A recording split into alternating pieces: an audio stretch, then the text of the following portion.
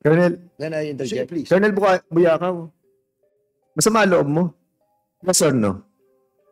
Ah, sir, ah, I'm just Yung a totoo. police officer. No, no, no, no, no. I'm asking you, personally. Masama loob mo sa pagkakaalis sa'yo after after a successful operation. You have to be, you know, you, you are in front of the Filipino people. Masama loob mo dahil pagkatapos ng magandang operasyon, tinanggal kayo. Yes or no? Ah, Kasi malalaman natin, kung hindi masama loob mo, di okay. Masama ba loob mo? Yes or no? yes, sir. Yes, sir. Di ba? Ah, General Karamat, ah, isa sa issue eh yung pagkaka-relieve ng mga tao from CIDG na nagtrabaho at nag-raid dito sa Pogo Hub na ito. Ah, marami kasing haka-haka na ang ah, nag-order ng kanilang relief ay ikaw, Ah, meron naman nagsasabi na merong higher authorities ang nag ah, nag ah, order. Meron naman din nagsasabi na mga superior mo ang ah, nag-order, no? Ah, para lang magkaroon ng liwanag o maliwanagan ang lahat. Ah, pwede ba sa pagkakataong ito pakisabi nyo sino ang nag-order ng relief ng mga taong yon? Thank, thank you, Mr. Chairman, sir, uh, and to all the members of this uh, committee, fellow workers in the government, uh, isang magandang hapon po sa ating lahat, sir. Sir, uh, thank you for this opportunity to clarify doon, sir, sa mga pagka-relieve ng mga tropa natin, sir, sa CIDG. On the part of Colonel Alejandro, uh, ako po, sir, yung uh, nag-relieve sa kanya, but nasabi naman ni Colonel Alejandro, na before the operation in Bamban was conducted, he was already informed of the impending reshuffle. Ah, nasabi na po yun ni Colonel Alejandro. Actually, hindi lang po si Colonel Alejandro yung uh, narelieve nung ah, yung reshuffle ay naganap. Anim po sila na regional chief. At yung sinasabi nila, sir, na na-wipe up yung tao ni Colonel Alejandro, ah, actually dalawa lang po yung official na nan, ah, na-relieve at na, na- I think nandito sila ngayon sir. So sila na po ang magsabi what was the reason bakit ah, na-transfer yung dalawang official. Ah, I think I submitted already to the uh, committee uh, secretariat regarding dong the reasons pagka-relieve ng mga sinasabi nilang na wipe out doon sir sa Region 3 nung pagkatapos ng operation sir sa Bamban. Another thing sir, uh, hindi po na-dismiss po yung kaso or RFI as was previously mentioned. Actually, sir, yung kaso ay nag-prosper at lahat ng mga suspect na napailan ng kaso ay na-issuehan po ng warrant of arrest. On the part of Colonel Buyakaw, which was another uh, operation uh, conducted after a year, uh, 2024, I received a memo coming from TDPRM as I presented in the, the previous hearing, uh, memo from uh, Directorate for Personnel and Records Management directing me as the director of the CIDG to replace uh, Colonel Buyakaw, Colonel Buyakaw, Your Honor, sir.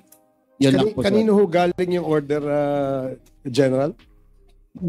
TDPRM, sir, Directorate for Personnel and Records Management, sir. So, Sino po ang ah, head niyan? uh, it was, uh, the OIC din was uh, General uh, Bakay, sir. Okay. Sige, ah, thank you ah, General Karamat. Kay General Bakay, Thank you, Your Honor, sir. General, sa iyo pala galing yung order. Uh, yes, Mr. Chair. Magandang hapon po, Mr. Chair. Is that because you intend to reshuffle and or there was a pending reshuffling of your men? Ah, kaya nyo inimplement yung ah, relief ng mga taong ah, taga CIDG? Uh, uh, Mr. Chair, the uh, order to install Colonel Ana, necessarily uh, relieving Colonel Buyakaw, came from our Chief PNP. As a matter of fact, he wanted to attend, Mr. Chair, to explain why there was a relief. The difference of time between the operation in Banban led by Colonel Buyakaw was one month, Mr. Chair. March 17 yung order ko po. Yung memo ko was April 17. There's a one-month lull. Meaning when General uh, Marbil took over, during the operation, Mr. Chair, kaya po nabanggit ko si General Acorda noon because it was during his time nung nagawa yung operation sa Bamban led by Colonel Buyakaw. Uh, it was during the time of General Acorda. Nung relieve, na-relieve si, na-relieve si Colonel Buyakaw, Mr. Chair, was the time of Colonel, General Marbil. And uh, nabanggit din po kanina ang uh, position ng RFU NCR director. Usually, ang uh, choice ng uh, chief PNP ang inuupo po yan, po dyan. Perhaps even General Acorda can test, uh, attest to that.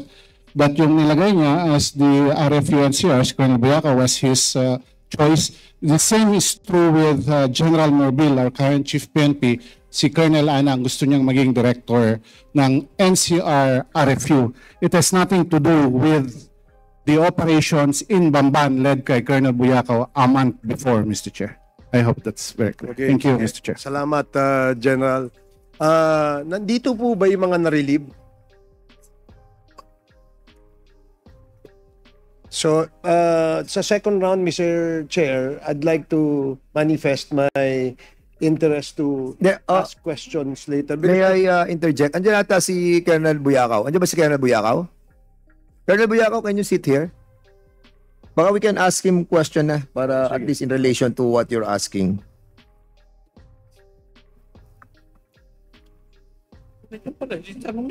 Mm, yan nga, eh. andito pala. So, Colonel Buyakaw, Yan. was the relief order uh, a surprise to you when you received it? Uh, sir, uh, actually sir, I was working on another case. Uh, kasi tapos na kami doon sa Bamban sir eh. And uh, that's the time na lumabas yung order ko sir. So, hindi hindi ka ba nagtaka? Well sir, uh, kasi wala na si Sir Acorda na nag-install sa akin sir. So I expect sir na ganun sir mangyari. Uh, bakit ini-expect mo? Meron kang magandang trabaho, eh. meron kang magandang achievement, tapos uh, nirelieve ka. Anong uh, nasa isip mo nun? Anong uh, Well sir, I believe sir kasi sa in the past, uh, ang mga kwan sir, uh, chip sa NCR sir is placed by uh, the chief PNP sir. Colonel, can I interject? please. Colonel Buka- Buyakaw, masama loob mo? Yes or no? Uh, sir, uh, I'm just Di a totoo. police officer. No, no, no, no, no. I'm asking you personally. Masama loob mo sa pagkakaalis sa'yo after after a successful operation. You have to be, you know, you, you are in front of the Filipino people. Masama loob mo dahil pagkatapos ng magandang operasyon, tinanggal kayo. Yes or no? uh, Kasi malalaman natin, kung hindi masama loob mo, di okay. Masama ba loob mo? Yes or no? yes sir, yes sir. Di ba? And you feel uh, nadedemoralize kayo dahil nga successful operation nyo tapos bigla kayong tatanggalin. Di ba? Kaya sabihin natin that is, this is the practice of all these uh, uh, chippy and ano? General Acorda, during their, your time, was there a situation wherein there is a successful operation, then a day after, tinanggal mo sila lahat? Was there an, an occasion? During my time, sir, I cannot recall such situation, sir, because um, uh, talagang uh, duly informed naman ako sa lahat ng mga operation and uh, except if there are some uh, demeanors in the, the uh, operation conducted, uh, doon lang nagkakaroon ng uh, relief, sir. Of But course. uh, as far as I can recall, sir, wala pong nangyaring Of ganun. course, uh, yun ang, uh, yes, yun ang, yun ang medyo masakit sa atin eh, na after, ito yung hindi ko matanggap, honestly. When we, when we have the last hearing before, I uh, recognize uh, Congressman Chairman Acop, hindi ko matanggap na after a successful operation, sasabihin natin that, uh, uh, ano yan eh, uh, na, alam na naman nila natatanggalin sila. Di ba?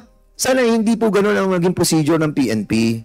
And as a matter of fact, marami sa inyo na na-demoralize dahil nga inilipat sila. Let's accept it. Ayan, katulad si Colonel Buyakaw, sinasabi niya, di ba? Personally. Di ba? It's clear. Kaya, I hope, ano, before I proceed, uh, uh, the uh, chair would like to uh, recognize uh, Congressman uh, Chairman Akop. Uh, Chairman Akop, you have the floor. uh, to put things in their proper perspective. Colonel Buyakaw, nasabi mo kanina na ini-expect mo na ma-relieve ka. Tama? Nung nawala si General Acorda. Yes, sir. Yes. Bakit? Sir, as I said a while ago, sir, uh, as experience yung napansin ko, sir, uh, in the past, kung sino, sir, yung chief PNP, siya, sir, yung naglalagay. Yes. yes. Yes, sir. Retired na ako. I retired in 2021, ah 2001. Ah 23 years. Nung ako rin ang nag-chief ng NCR CI, CIS, ang chief PNP ang nagpumipili kung sino ang maging boss diyan. 'Di ba? Kaya ikaw ang pinili ni General Acorda. Right? Tapos nung naupo si General Marbil, nirelieve ka kasi siya ang pipili ng uupo doon sa unit na yan. That has Yes. been the tradition. Tama? Yes, sir. Yes. O kaya dapat hindi sumama loob mo dahil alam mo na na yun ang tradition eh. Thank you, Mr. Chair. I continue. Okay, so uh, the uh, chair of um, Dangerous Drugs, uh, Chairman uh, Ace Barbers, uh, Thank you. Thank you, Mr. pagpatuloy mo. So, ah, balikan na lang natin yung sa issue sa Philippine National Police. Ano? Ah, gusto ko lang matanong yung PIDEA. Is PIDEA present? ah, Yes. Uh, yeah. Uh, Yeah. uh, Yes, si, Your uh, ano, si Director Lasso. Um, Director General Lasso, ah,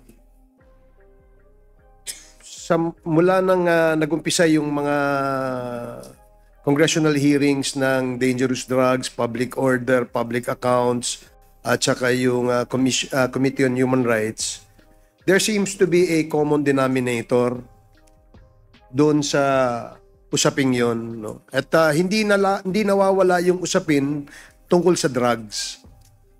Uh, do you have any information that you wish to share to the committee with respect to perhaps your findings or your your uh, mga datos na nandiyan sa inyo uh, Director General Lasso Uh, yes, Your Honors.